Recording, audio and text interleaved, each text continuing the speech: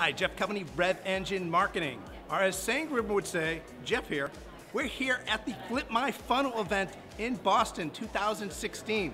Stay here for the next couple minutes and we'll go behind the scenes of some of the top trends of account-based marketing.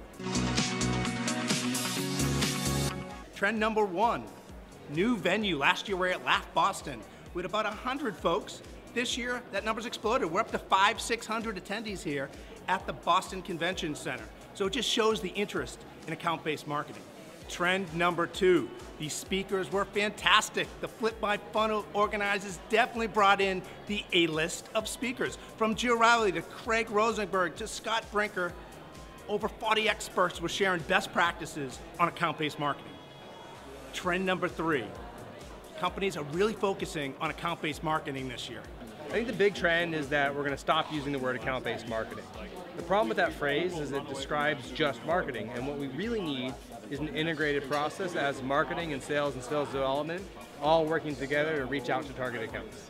You're going to need to have something that is differentiated. It's not just delivering a direct mail piece or calling out to a target account. It's going to need to be a very strategic, targeted, relevant strategy, or it's not going to be able to differentiate itself from the noise that's going to start happening from ABM. Account-based marketing, this is like one of the best examples of how technology is changing what's possible with marketing. I think we're going to see a lot more of these uh, sort of fresh ways of looking at uh, the data that marketing has collected to change our strategy. There's been a ton of strategy. I think this is the year people are actually going to implement it and actually start getting things done in account-based marketing. We're seeing everybody these days go towards incorporating true multi-channel into their ABM. Trend number four, the ecosystem is definitely growing. Last year, there were a handful of exhibitors here at the Flip My Funnel event. This year, there are about 30 plus, from Engagio to Terminus to PFL. There are a host of companies showing their best practices. Trend number five, the parties.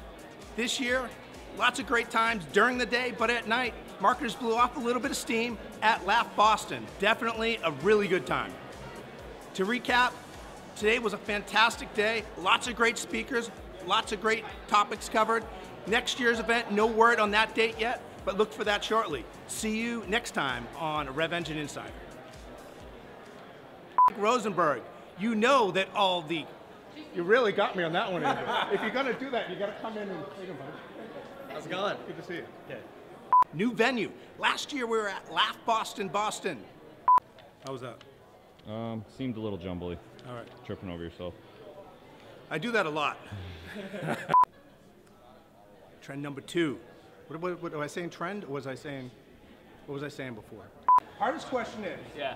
if you're an American Idol and you had yeah. one song to yeah. belt out, what that's going to be? Dude, I'm a big fan of Pitbull. Pitbull, so, all right. right so if you get a Pitbull music going on, I can like sing along with any of the songs. We'll, we'll get you.